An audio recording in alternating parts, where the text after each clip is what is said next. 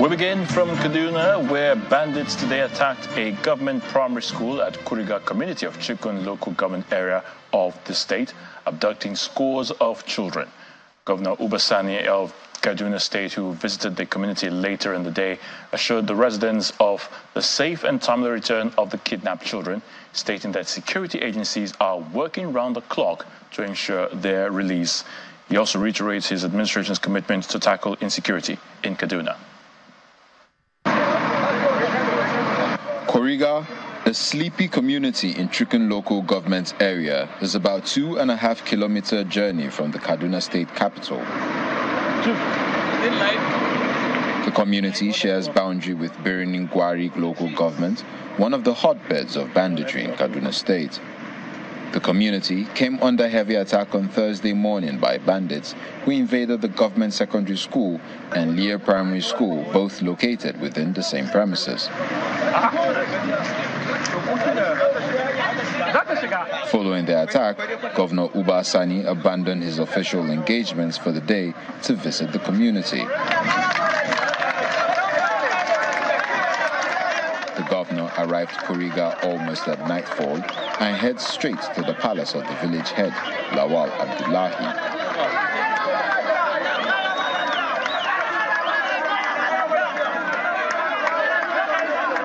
According to one of the secondary school teachers, Sani Abdullahi, 287 students were taken away by the bandits, 100 from primary and 187 from the secondary school section. so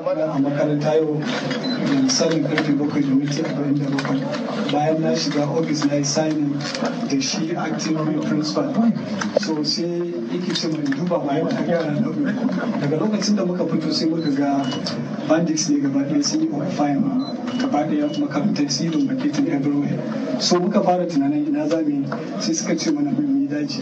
So muka cikin daji kuma gashi suna da yawa. Yara ne suna biye da mu almost kusan mutum ɗari bakwai suna bayan banda ma primary suna purpose. So bayan mun yi cikin daji sai Allah ya ba mu mafita mu da wasu yara. Sai na samu na dawo Allah wata bayan gari na dawo cikin gari na zo na yi rufon cewa ga abin da ke faruwa. So daga nan dama sun fara alfahari. While thanking Governor Sani for his prompt response to the attack, the tearful village head appeals to him for a permanent security formation in Kuriga community.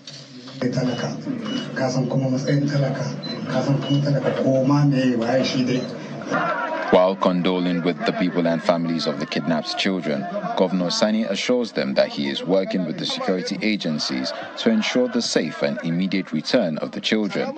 He also promises to establish a permanent police station and military base in Kuriga community. We're doing our best. I'm going to work with the community leaders. I want to work with the traditional leaders here, as well as the youth, to ensure that every child we return back home by the grace of God. I discussed with the National Security Advisor. He has assured me they are also working, and I've also spoke with the GOC One Mechanized Division. He has also assured me they are also trying. Here we are with the Commissioner of Police and the Director of SSS, and all of them are working closely with Kaduna government under my leadership. No child will be left behind. All of them will come back home by the grace of inshallah. Already, a manhunt of the bandits has commenced with troops deployed to Kuriga and other surrounding areas with a view to rescuing the kidnapped children. Let's head to the National Assembly now. We're still talking security, where the House of Representatives is calling for the immediate release of over 200 women abducted in Borno State. This follows a motion of urgent national importance by Honorable Zainab Gimba, urging the security agencies to be proactive so this does not go the way of the Chibok girls. Our correspondent Terry Kumi reports. The Green Chamber is scanty as lawmakers converge for the final plenary session of the week. That looks very good on you. Very good. As the world celebrates the International Women's Day, the House considers a motion calling for the revisitation of the gender bills that failed in the Ninth Assembly. The House resolves that to commemorate with Nigerian women and women all over the world and revisit all the gender-based legislations of the Ninth Assembly on women participation in politics and other sectorial matters. As plenary progresses, an urgent motion drawing attention of Parliament to the abduction of over 200 persons in Borno State is raised. Also note that the abduction took place last Sunday the 3rd when the women went to fetch firewood in the bush for domestic and commercial purposes.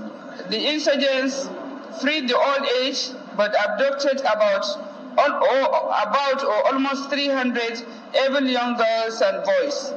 Uh, the House also resolves to task all security agencies to rescue all abducted victims. In the meantime, the House has reached a resolution to investigate suspicious practices of ministries, departments, and agencies, as well as parastatals, in the execution of capital projects in the Appropriation Act. Right Honorable Speaker, we resolve as follows mandate the Committee on Financial Crimes and Intergovernmental Affairs to investigate the procurement of capital projects by all federal government ministries, department agencies, parastatals and institutions to recover the withheld sum from the execution and report back within four weeks. House then turns its attention to the National Population Commission and resolves to investigate the 200 billion naira so far spent on the suspended 2023 population and housing census. The House therefore resolved to mandate the Committee on Population to invite the Director General of the National Population Commission to explain details of how the 200 billion meant for the suspended 2023 population and housing census was spent and report back within four weeks for further legislative action. The 2023 census was suspended indefinitely by the immediate past administration in the build-up to the 2023 general elections, and the House believes that before any other funds would be appropriated, the previous funds must be accounted for. Terry Ikumi, Channels Television News. Meanwhile, the Borno State Governor, Babagana Zulum, says available information indicates that some of the women and girls voluntarily returned to the bush. Well, Governor Zulum says the exact number of the abducted women and girls is yet to be ascertained, as no official communication has been made to his office. Well, the governor made this declaration while playing host to a team of diplomats, UN delegation, and development partners in Maiduguri, the Borno State capital. It's a visit of a delegation of diplomats and development partners led by the British High Commissioner and the UN country representative. This visit comes after the recent abduction of a large number of women and young girls from three IDP camps in Ngala on the fringes of the Lake Chad. After condoling with the state government on the unfortunate incident, the British High Commissioner states the purpose of their visit. We want to understand recent progress and also to better understand the present situation. And also, of course, your future plans for the state. And in particular, to discuss what are the safe and durable solutions that are possible to address this big challenge of improving the livelihoods of so many internally displaced people. Borno State Governor Professor Babagana Zulum gave statistics of the humanitarian challenges confronting his administration before speaking on the recent abduction. The government is committed to implementing the durable solution pathways for over 2 million citizens over the next three years, so that by April 2027, the 2.5 million displaced persons, 2 million of whom live in IDP camps, will be returned to their local government of origin. We still have about 1,250 internally displaced persons living in IDP camps. According to the governor, there are about 1.2 million internally displaced persons still living in camps, and at least 86,000 houses will have to be constructed in 64 destroyed communities in order to relocate these people from the camps. In continuation of the trial of former CBN Governor Mr. Godwin Emefiele, a forensic analyst has confirmed that the document used to request the payment of $6.2 million of foreign election observers were forged. Another witness, Bamai Meriga, called by the EFCC, informed Justice Hamza Muazu of the Federal Capital Territory High Court, Abuja, that following forensic analysis of the disputed documents, he discovered that there was a clear evidence of forgery of signature and the seal of execution were different from the original. He also confirmed that the signature were not those of former President Muhammadu Buhari and former Secretary to the Government of the Federation, Mr. Boss Mustapha. On the cross-examination by counsel to Mr. Emefiele, the witness said he is not a staff of the EFCC and was not being paid by the anti-graft agency, but his salary was domiciled with the Nigeria Immigration Service. A counsel to Mr. Emefiele, Matthew Burkaa, expressed displeasure in respect of the conduct of the witness, saying that the witness was misleading the court by evading questions. Well, the trial has since been adjourned till March the 11th for continuation. On the National Broadcasting Commission, the NBC has appealed the November 23, 2023 ruling by Justice James Omotosho of the Federal High Court Abuja, which restrained it from imposing fines on radio and television stations. Uh, Justice Omotosho had dismissed a motion by the Commission, praying him to set aside his judgment delivered on May the 10th, 2023. In a notice of appeal filed by Senior Advocate of Nigeria, Babajide Koku, the NBC is asking the appellate court to set aside the ruling and the judgment delivered on May the 10th of 2023. In the foreground notice of appeal, the NBC says it was against the entire decision of Justice Omotosho. On the May the 10th judgment arose from a suit instituted by an Abuja-based lawyer, Noah Ajare, on behalf of Media Rights Agenda, MRA, challenging the powers of the NBC to fine broadcasters following a March 1, 2019 announcement by the NBC that it had imposed a fine of 500,000 naira each on 45 broadcast stations for alleged contraventions of the Nigeria Broadcasting Code. In setting aside the fines of 500,000 naira each imposed on the stations, Justice Omotosho held that the NBC was neither a court nor a judicial tribunal to make pronouncements on the guilt of broadcast stations, notwithstanding what the NBC code says. He adds that the Commission's action violated the Constitution.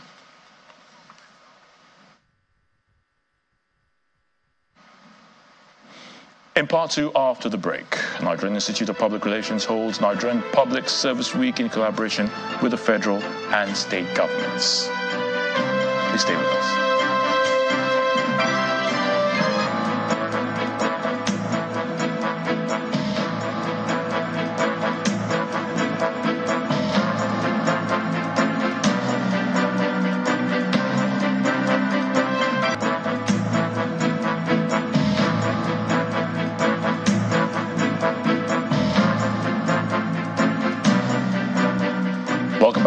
Just joined us, you're watching the news at 10, coming to you live on Channels Television from Lagos. A reminder of our top stories. Bandits storm LGEA Primary School, Kuriga Community in Chikun local government area of Kaduna State, abducting over 200 pupils. Forensic analysis confirms forgery of signatures used to request payment of $6.2 million to foreign election observers during the 2023 general elections body of benchers asked legal practitioners to refrain from addressing the media when fully robed, particularly after court sittings. And Sweden officially joins NATO after it completed its accession process in Washington.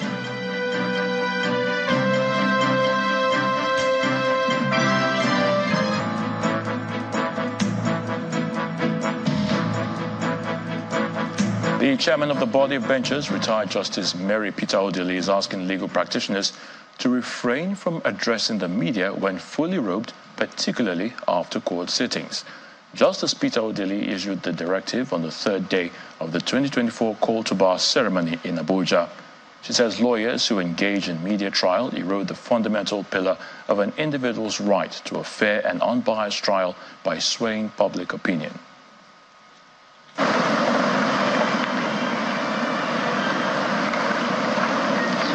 The atmosphere is calm and solemn as young lawyers converge on the conference hall of the Body of Benchers complex for the final day of the 2024 call to bar ceremonies. Benchers may take their seats. The guests also may be seated. Presenting the candidates to be called to the Nigerian bar the Director General of the Nigerian Law School applauds the academic standard of the school. As reported previously, we have continued to leverage from the achievement of our past teachers and leaders. Today, the Nigerian Law School has um, sustained its enviable growth and development for six decades, to the admiration of many The importance of the Nigerian Law School in manpower training and development of our country cannot be overemphasized. Before presenting her address, the chairman of the body of benchers asked the young lawyers to adorn their wigs to the admiration of their parents and relatives. You may now put on your wigs.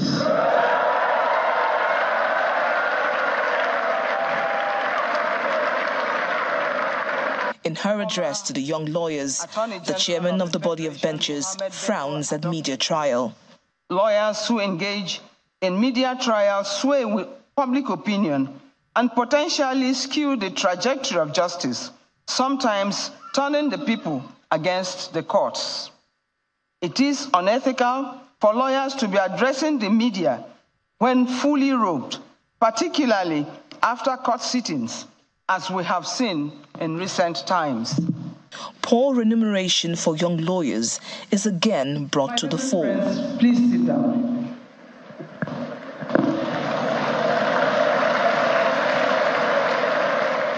for several years, I've been trying to work some minimum wage for young lawyers. I think um, this charge today is a call to duty and a renewal of, of that.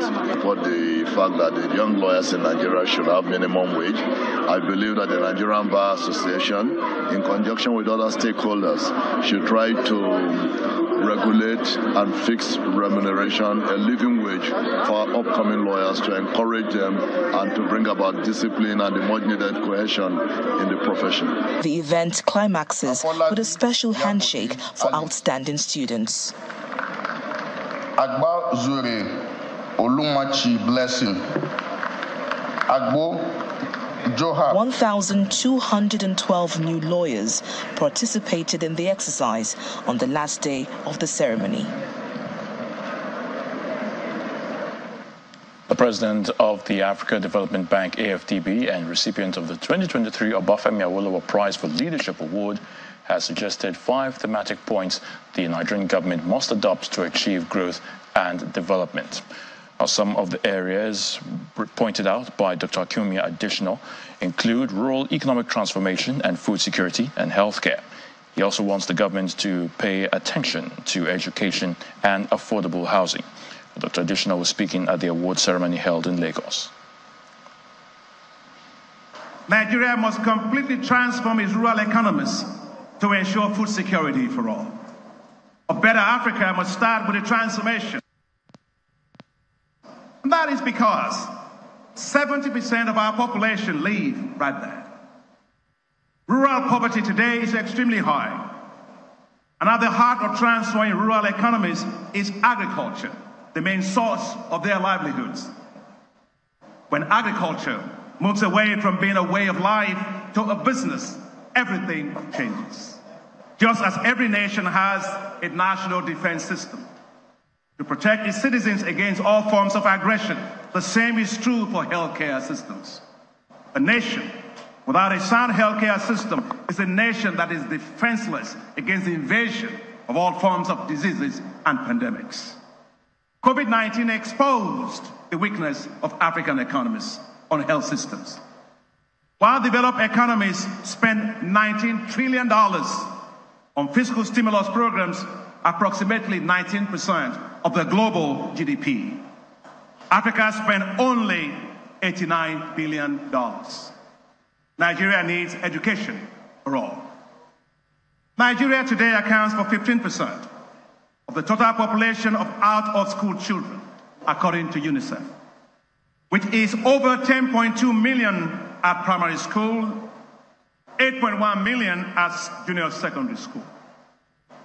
This is not a gold medal that Nigeria should be proud of. I was at a function one day, I was asked, why don't we upgrade all the slums? And I said, there is nothing called a five star slum. A slum is a slum. Therefore, we must do everything possible through new financial instruments to make sure that every individual can have a decent home that they can call theirs. To succeed with much needed welfareist and people centered policies across Nigeria, as espoused by Papa Awolowo, it is necessary to change the governance system and decentralize governance to the states in order to provide greater autonomy. States that have tremendous potential have tremendous potential to become even more financially autonomous through greater fiscal prudence. If states focus on unlocking the huge resources they have based on their areas of comparative advantage, they will rapidly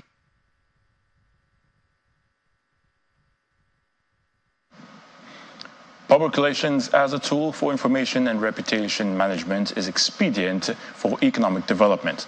Now, recognizing the strategic importance of this, the Nigerian Institute of Public Relations, NIPR, is putting together the Nigerian Public Relations Week in collaboration with the federal and state governments to engender a new culture of doing things in government, ministries, and the private sector. Chairman of the Nigeria Public Relations Week, Mr. Yomi Badejo-Okusanya, spoke in an exclusive interview with Channels Television, highlights some of the expected outcomes from this initiative, scheduled for April the 22nd to the 26th this year.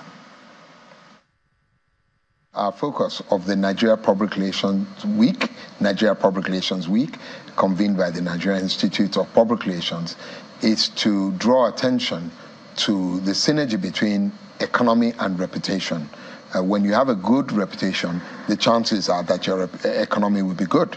Uh, why? Because um, when we talk about reputation, we talk about trust. And uh, public relations is the management discipline that establishes trust, sustains trust, uh, in some cases rebuilds the trust for comparative reputation advantage. Uh, nobody wants to deal with an entity that they don't trust, uh, be it public, be it private. and I think some of the challenges we've had with Nigeria as a country is that there's a trust deficit that is operational. What the Nigeria Public Relations will, Week will do is to bridge and attempt to bridge that trust deficit. We are going to be partnering with all stakeholders, both public and private.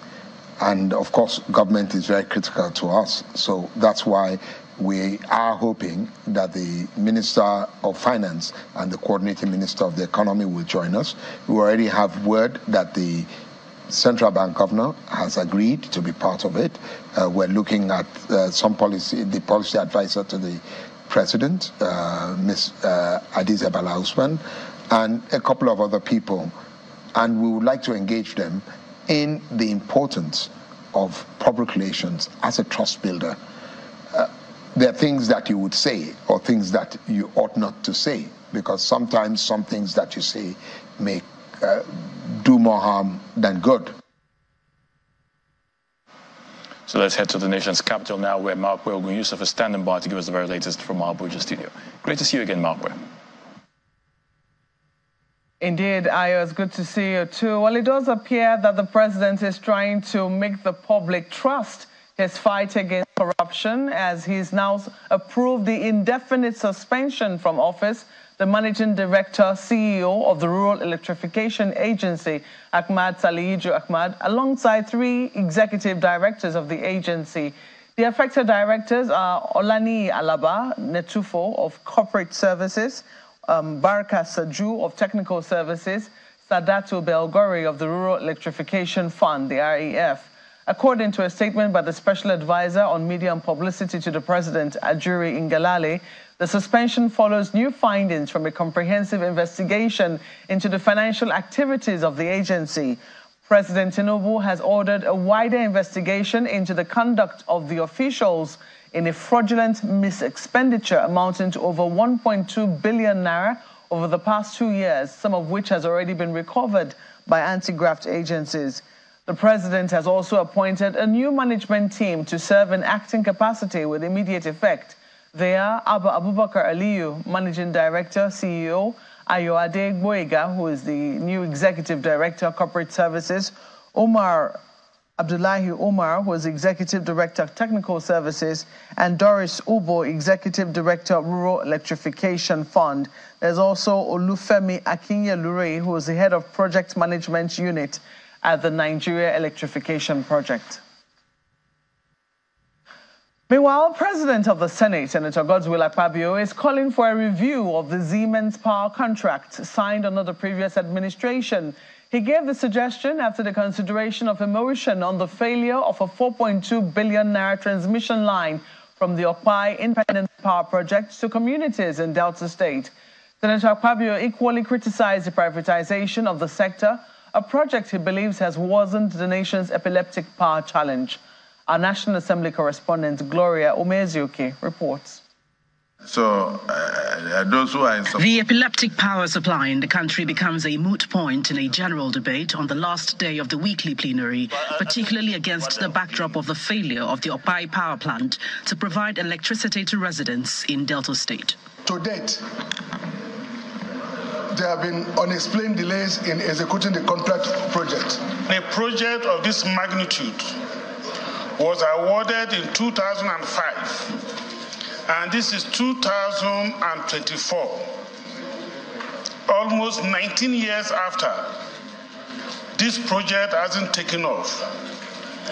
It is either the government is paying lip service to providing power for the people or something is wrong somewhere. Most of these independent uh, power generating plants have problems of ownership structure. They want to retain the ownership of these companies. They do not want to open up the ownership of these companies for additional equity participants, to expand their operations, and meet the expectations of the areas that they are operating. Let this unit take the bold action of reviewing the entire power system. Anybody who talks of reviving the manufacturing sector knows that a, it will remain a huge joke if we do not have stable, steady, quality power supply to drive our manufacturing sector. It is apparently a thorny issue for the Senate in this preliminary debate and goes beyond the subnational. Recently, we had the ambassador of uh, of Germany to Nigeria, and, and they, she paid a courtesy call on the Senate, and we questioned the provisions in the Siemens contract that was negotiated by the last administration. We pleaded with the ambassador to intervene so that Siemens can see the need for a review of that contract. So it's we that sometimes sabotage the system because even that contract, somebody to go and insist that for an equipment you don't know anything about, just supply it to us. We will handle the installation. Means that you are setting us back for around 10 years. The Senate Committee on Power is now expected to work within four weeks to try to unbundle the critical issue of power transmission across the chain and also try to determine cogent recommendations that are workable for Nigerians. Earlier, the upper chamber identified with women on the occasion of the International Women's Day. The president of the Senate leads other lawmakers to mark the symbolic day.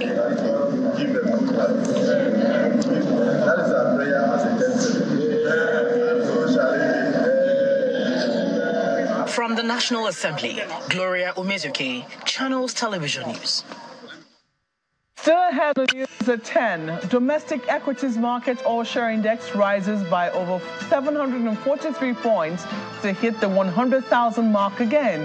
That's some business news. Please join us again.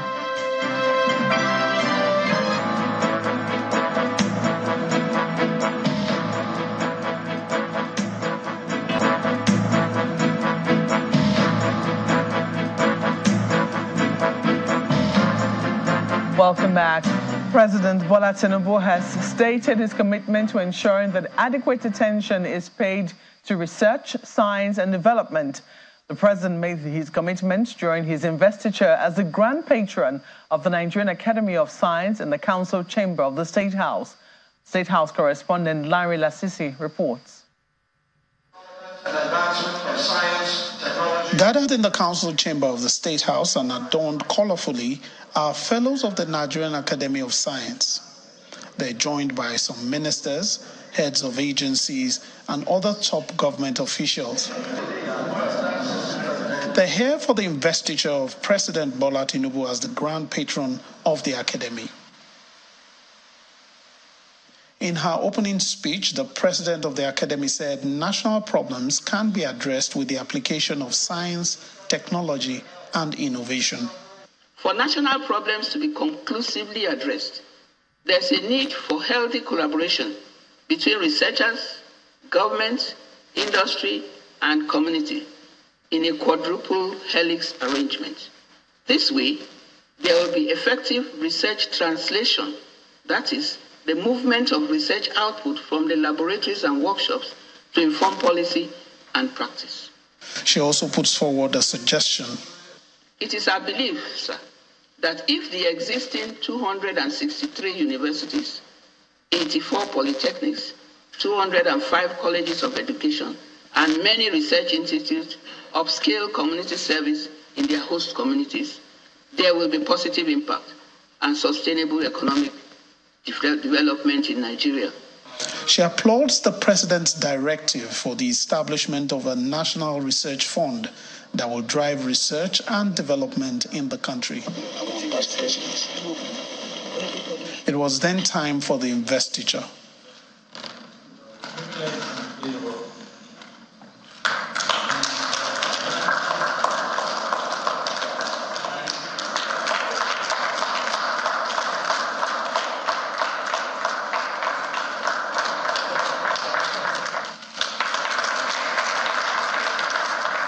President thanked the Academy for the honor and stated his conviction that science and technology have a key role to play in national development.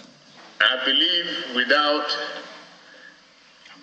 great research and development, no nation can develop to achieve its desire. Pay attention to science and development is a commitment that I will continue to support directly and through various government policies and programs. The ceremony ended with photographs, especially of the fellows of the Academy and their grand patron. From the presidential villa, Lanre Lasisi, Channels Television News. In other news, cable television service provider Metro Digital Limited has unveiled its latest product to the Nigerian market. The product under the SLTV platform allows subscribers access to more than 50 premium channels with a year-free subscription. The managing director of the company, Mr. Ifeanyi Nwafo, explains that the platform offers the highest quality of entertainment for Nigerians. It is a gathering of key players in cable television service and government officials at the unveiling of the latest pay TV network, SLTV. The network hopes to make a significant impact in the industry by making it affordable for Nigerians. In the wake of these positive actions taken by the federal government, Metro Digital applied and acquired a license to operate a satellite television network. The mission is to leverage the recent advancement in the broadcast technology to bring solid and premium television entertainment to every home in Nigeria at affordable prices. The platform has two packages the basic package, which costs 2,500 naira, and the gold package, which costs 5,000 naira. There was an added incentive for the first subscribers who will get a full year subscription. The Metro team presented a dance section for entertainment. The federal government desires to improve digital networks with quality and superior programming content. We as regulators can hardly wait to see what the offering is. We believe it is new, it is innovative, it would serve the needs of um, the great population as it is right now. Nigerians have been yearning for alternative to satellite pay TV that can serve as an alternative to the existing ones. SLTV has responded very loud and clear. And from the information made available to me, they are willing to give their fellow compatriot real value for their money in terms of service quality and affordability. After the speech, delegates then moved to the unveiling of the latest pay TV network in the country. Uh, so I therefore call this for the delight of our public. Thank you very much. The company is promising to produce the best content for Nigerians. The dream was to set up a platform that will eventually cover the entire country. And that's the dream behind SLTV. So we started working on it. It was not easy, but today we've been able to achieve it. Uh, today, I can assure you that every house, every village in Nigeria can receive SLTV, good quality entertainment at a very affordable price. The decoder, which is already in the Nigerian market, sells for 27,500 naira. And that's all from our Abuja studios. It's back now to you, Ayo. Many thanks, Markwe. Global tech giant Samsung Electronics West Africa is joining forces with New Home Distribution Africa Limited to assemble the brand's consumer electronics for the Nigerian market. The strategic partnership will increase the availability of Samsung products to Nigerians and make the pricing more competitive.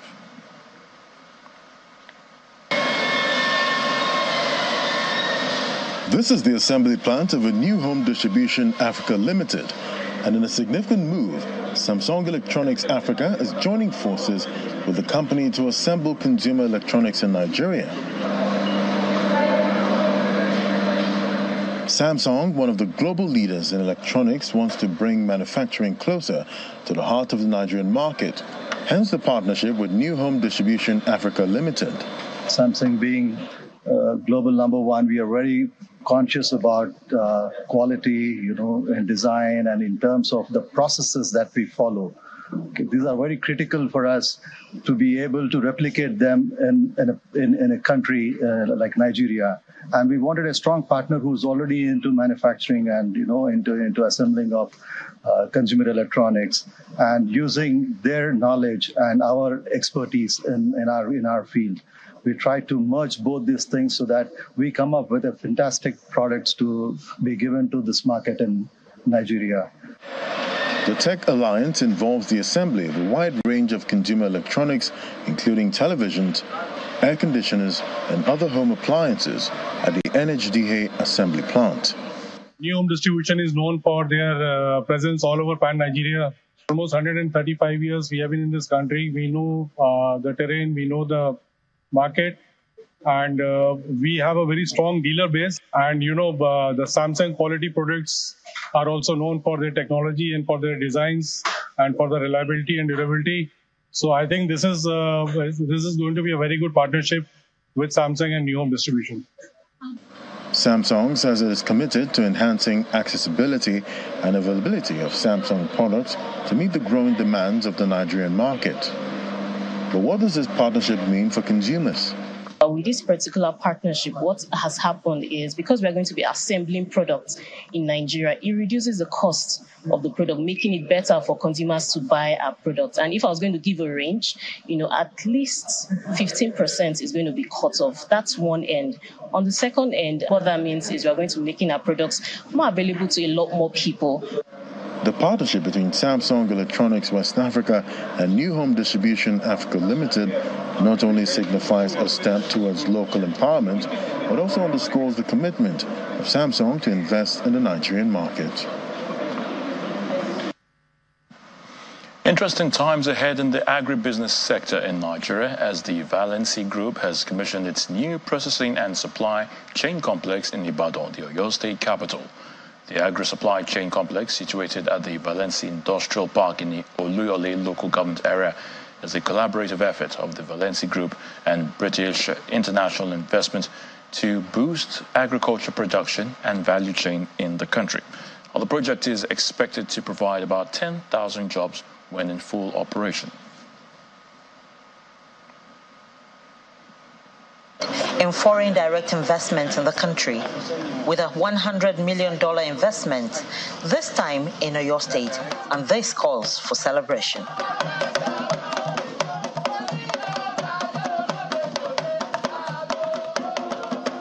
A new agro-industrial park belonging to Valency Group is commissioned in Oluyole government area of the state.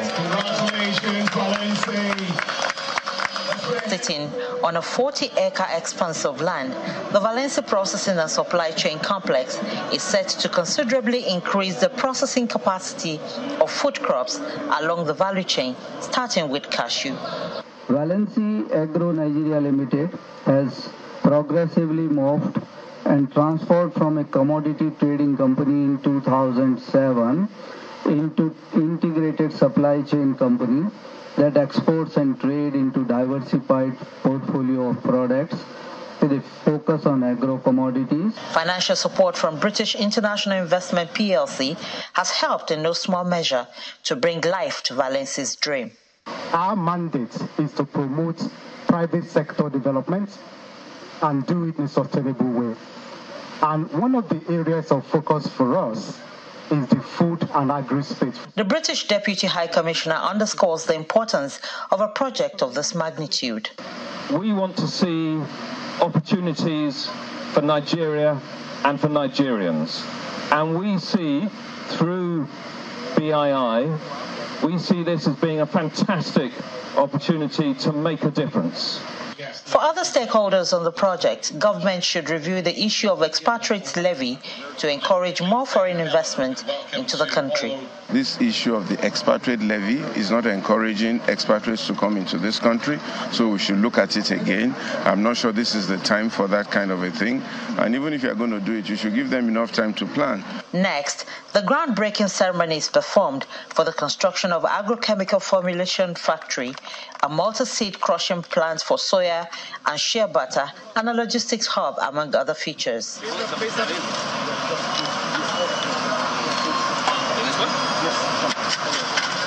Experts in food processing and the supply chain say that only about 2% of cashew produced in Africa is processed within the continent, and this has led to a great decline in revenue from processing.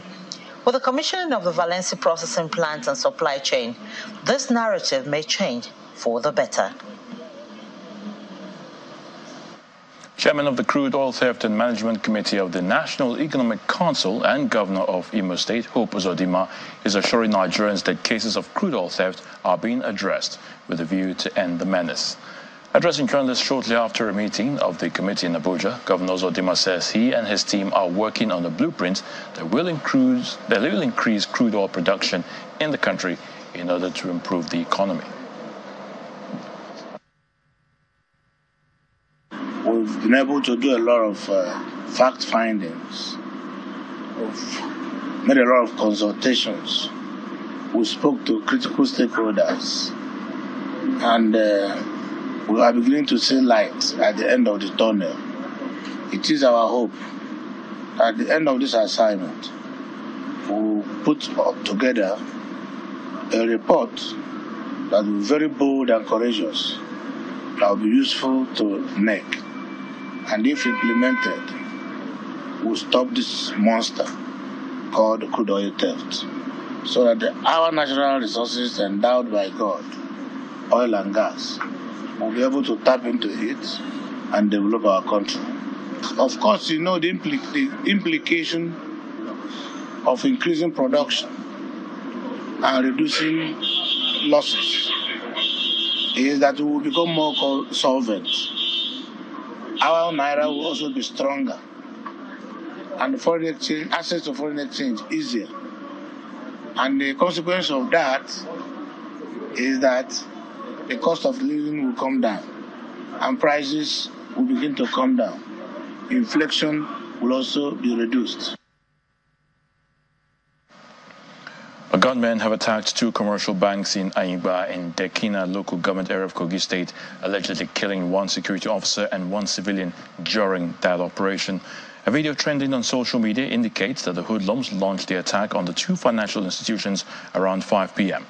Eyewitness accounts has it that there were sporadic shootings and attacks on the two financial institutions and a police station in the town where unspecified amount of money was allegedly carted away by the armed robbers.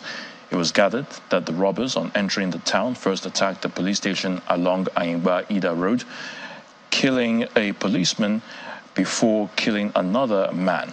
Well, it was also revealed that the gunmen trailed bullion, the bullion vans of, of the banks to their offices at Anyigba, where they disarmed the security details before carting away all the money. It's now time for some business news with Jocko Rogers. Banking so easy, so simple. Dial star 894 hash now to experience it. You first, First Bank.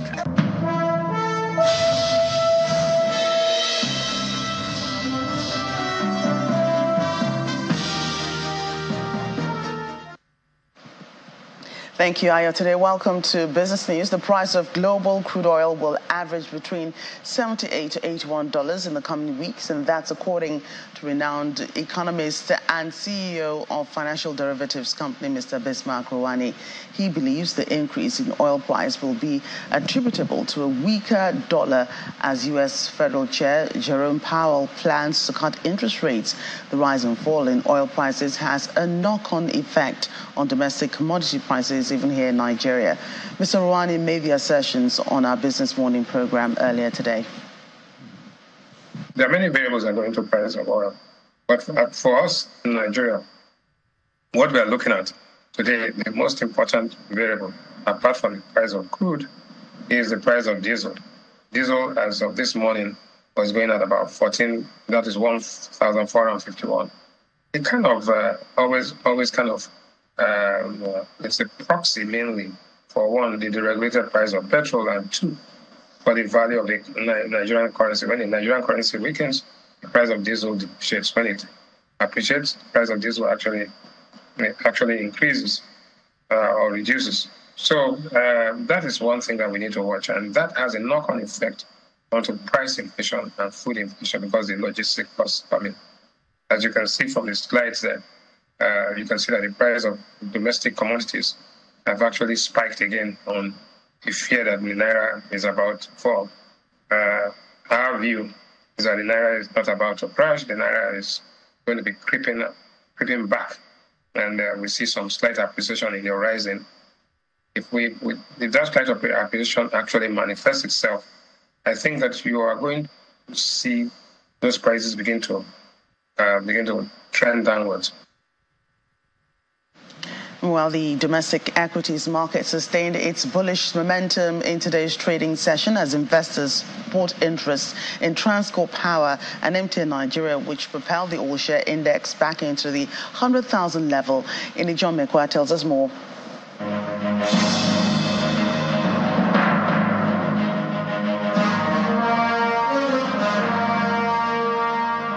Good evening, everyone. Welcome to the Stock Market Report. Well, it's going to be a positive week uh, for the NGX. That's for the fourth trading day today. We see the market still on a bullish trend. It added 420 billion naira to the market cap. That's about 0.75%. And congratulations, Nigeria. We're back to the 100,000 points, 100,335.30. The market cap is still at 56, 56.7 trillion naira. And after weeks of negative sentiments around MTN Nigeria, it is the market mover for today. It opened at 183 naira to close at 201 naira 30 ها 10% increase on your investment in one trading day. Well, maybe you still want to recoup some more, so maybe you want to be patient. Let's look at the sectors now. Our lovely FUGAZ, uh, major market movers are down today, 2.57%. Consumer goods, 0.62%. That's because of Dangote sugar, uh, Honeywell flour, and uh, international breweries they added to bring about that. Oil and gas seems to be moving sluggishly these days, but I'm sure everybody have their turn, so it's time for oil and gas to be unchanged for today. But uh, in summary, it's the bulls market on Thursday.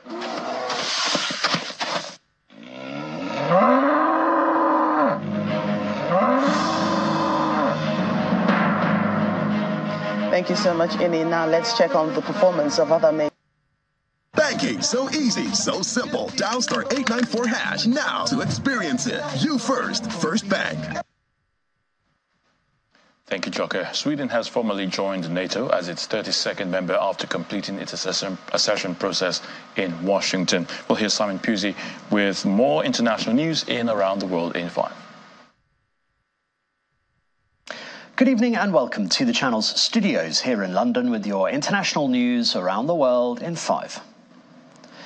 Donald Trump has challenged the US President Joe Biden to TV debates as the rivals hurtle towards a White House rematch following their sweep of the Super Tuesday votes.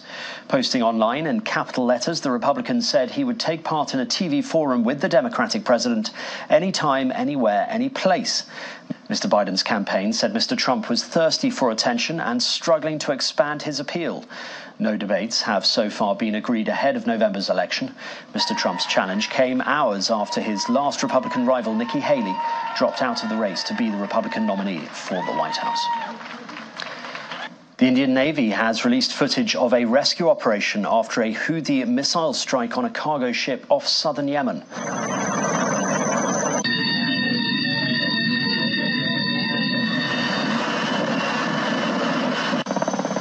The owners of the Barbados flagged True Confidence say two Filipino and one Vietnamese crew member were attacked and killed, which forced the crew to abandon the vessel. They are the first deaths since the Houthis began targeting commercial shipping in the Red Sea and the Gulf of Aden last November. The Houthis say their attacks are to support the Palestinians in the war between Israel and Hamas in Gaza. A movie set to weapons handler who loaded a gun for actor Alec Baldwin before it fired and killed a cinematographer has been found guilty of involuntary manslaughter. We find the defendant Hannah Gutierrez guilty of involuntary manslaughter as charged in count one.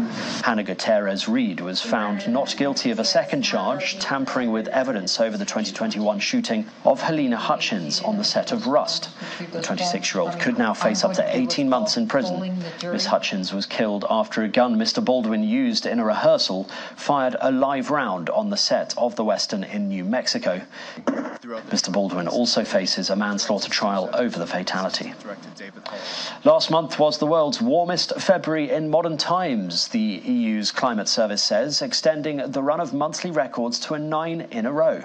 Each month since June 2023 has seen new temperature highs for the time of year. The world's sea surface is at its hottest on record, while Antarctic sea ice has again reached extreme lows. Temperatures are still being boosted by the Pacific's El Nino weather event, but human caused climate change is by far the main driver of the warmth. The mother of a six year old missing in South Africa since the 19th of February has been charged with human trafficking and kidnapping. Kelly Smith was charged along with her boyfriend, Jacquen Appollis, and two others following their arrest. Miss Smith's daughter, Joshlin, disappeared outside her home in Saldanha Bay near Cape Town. The four accused appeared in court but were not asked to plead in a case that has transfixed South Africa. Conservationists have raised concerns over a proposed road project that is expected to run through the Aberdare National Park in Kenya. It's a popular tourist destination where the late Queen Elizabeth II received news of her father's death.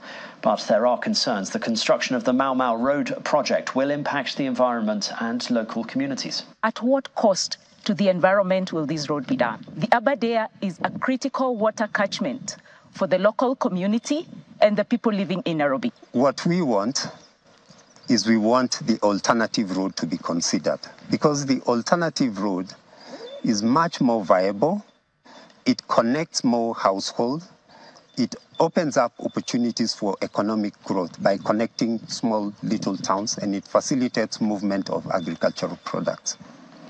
And a local golfer has been left stunned after a mob of kangaroos interrupted his game at the Heritage Golf and Country Club near Melbourne in Australia. Look at this.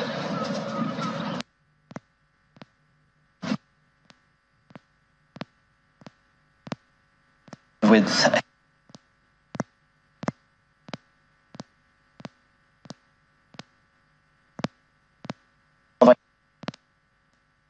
Better not stand on my golf. A culling of kangaroos.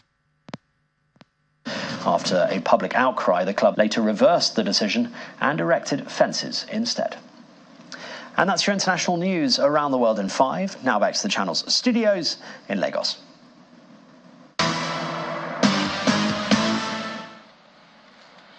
Thanks, Simon. Welcome to Sports News. The Falconets of Nigeria will begin the defense of their title in the football event of the African Games on Friday against Morocco. The national under 20 women team are in a tough group that has Senegal and Cameroon as the bid to retain the gold medal they won in Morocco in 2019. And Euro Roma have put one foot in the quarterfinals of the Europa League this evening after hammering Brighton 4-0 as Daniel De Rossi dominated his good friend Roberto De Zerbi. Darwin Nunez' brace lifted Liverpool within sight of the quarterfinals as they also swept to a 5-1 win in the last uh, 16. Uh, Patrick Schick headed Bayer Leverkusen level in stoppage time for a 2-0 draw, extending the unbeaten run to 35 games. And that's Sports News Tonight. I'm Kelly. It's back to Ayotunde.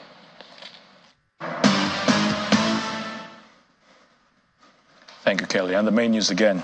Bandits today stormed the LGA primary school Kuriga community in Chikun local government area of Kaduna State where they abducted pupils and teachers.